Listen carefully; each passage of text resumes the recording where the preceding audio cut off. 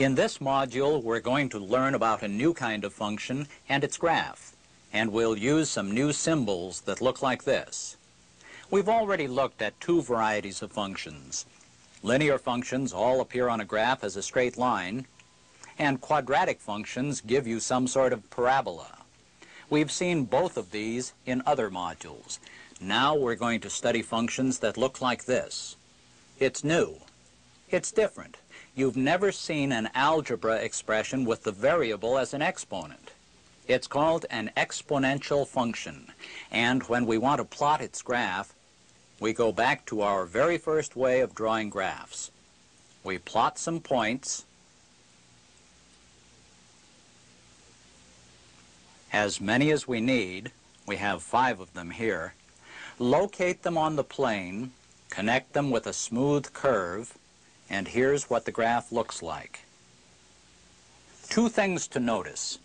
Follow the graph to its right, and it gets steeper and steeper.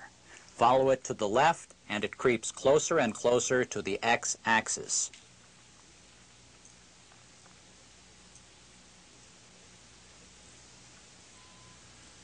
We can draw lots of other exponential curves the same way by changing the base.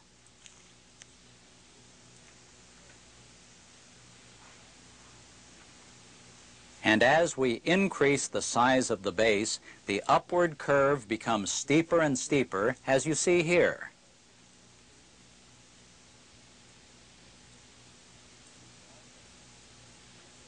You can also see that a negative exponent makes it go the opposite direction.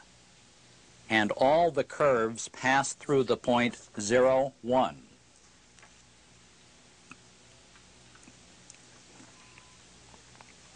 Exponential functions and graphs have lots of useful and some rather unlikely applications. You've probably heard of some of them. Now, ready for something new and even clever.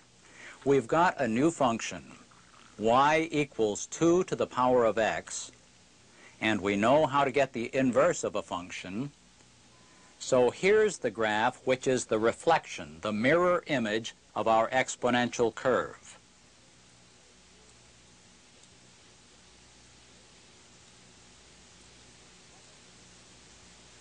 But what is it?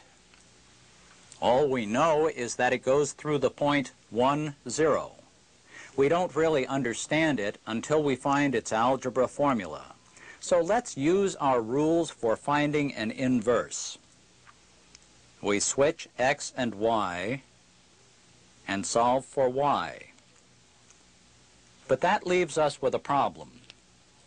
x equals 2 to the power of y but we've never seen anything like this before, so we don't know how to solve for y. Is it time to panic? Not quite. We've done this sort of thing once before. Think back to a long time ago when you had just learned about squares and suddenly you were confronted with this problem. How did we end up handling that? We invented a new symbol, square root, a new function to describe our answer. We didn't have a good way of calculating numbers like the square root of 8. We had to use a table or calculator, and we still do. But we still knew how to use the square root in other problems by using the different properties of square roots, like the one you see at the bottom here. We're going to do something a whole lot like that to solve the problem we have with that y exponent right now. We'll invent a new symbol, learn about its properties, and use it even before we understand it completely. Here's the new symbol. We read it as log x to the base 2.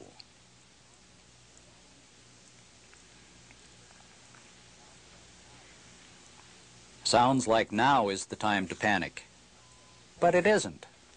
Just as we have on the left here two statements that say the same thing, y equals the square root of x and y squared equals x.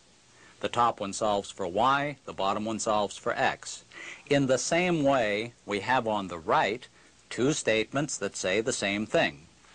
y equals log x to the base 2 and 2 to the power of y equals x. The top one solves for y, the bottom one solves for x.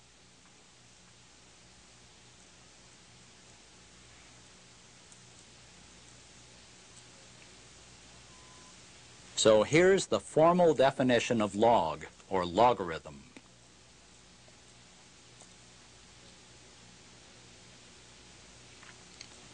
The base a can be any positive number. Now if we fill in the numbers, can we actually work out a logarithm like this by hand? Sure we can. Here's an example. If we convert it into the corresponding statement about exponents, we can even see why it's true because 2 cubed equals 8. Another way of stating the same problem. To what power do I have to raise the base 2 in order to get 8 as my answer? I have to raise it to the power of 3. Now, that's not so hard. Of course, that means you can have problems with different bases. Here's one for you to try. Log 81 to the base 3. Or, what power of 3 will give an answer of 81? Think about it, and come back with your answer.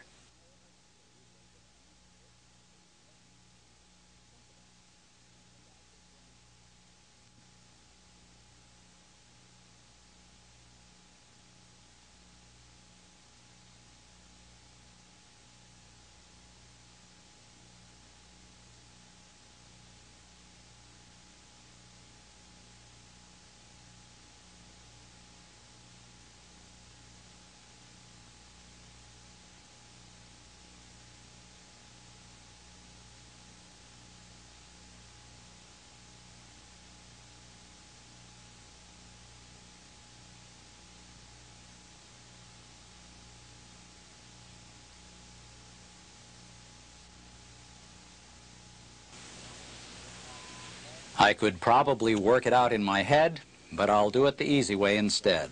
I translate to the exponent shape, as we just saw a moment ago, rewrite 81 as a power of 3, and I have my answer.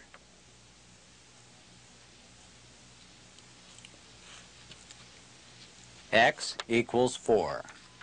We can expand this same technique to handle more complicated problems like this log 4 to the base of 32. Once again, I rewrite it as an exponent, and then I change both sides to powers of 2. Since they're both in powers of 2, I can compare the exponents.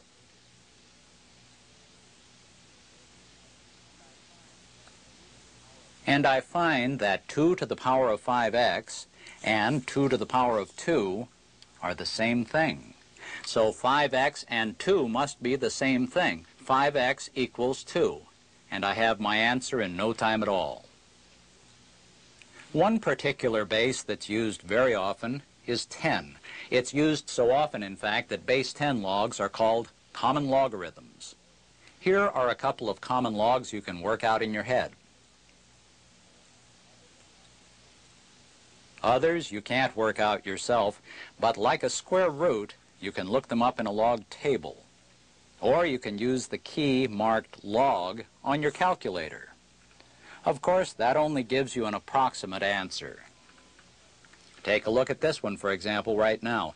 Use a log table or calculator to find this log, and then come back.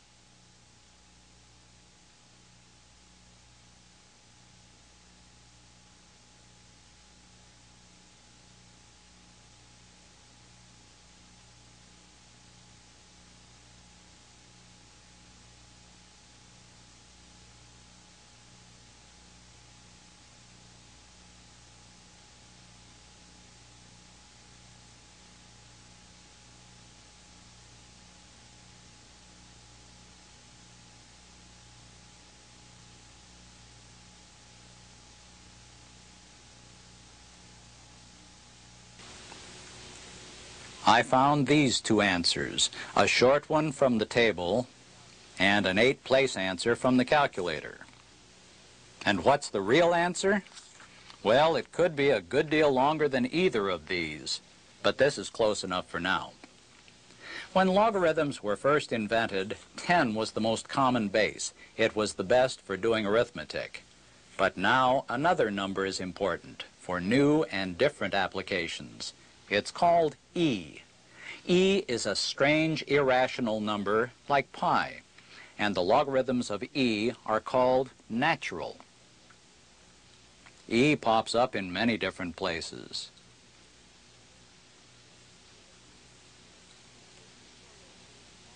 And it's curiously involved in a strange equation that connects three unusual numbers that you've already encountered, e, i, and pi. So how do we go about using log base e?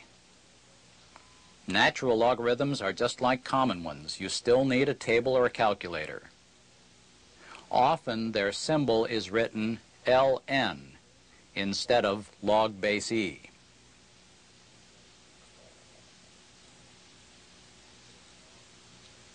Natural logs are most useful for many scientific applications. In another module, you'll learn some of the properties of logarithm functions and how to use them for calculations. But first, you'll want to read more about them in your text until you're as familiar with logs as a lumberjack. Good luck.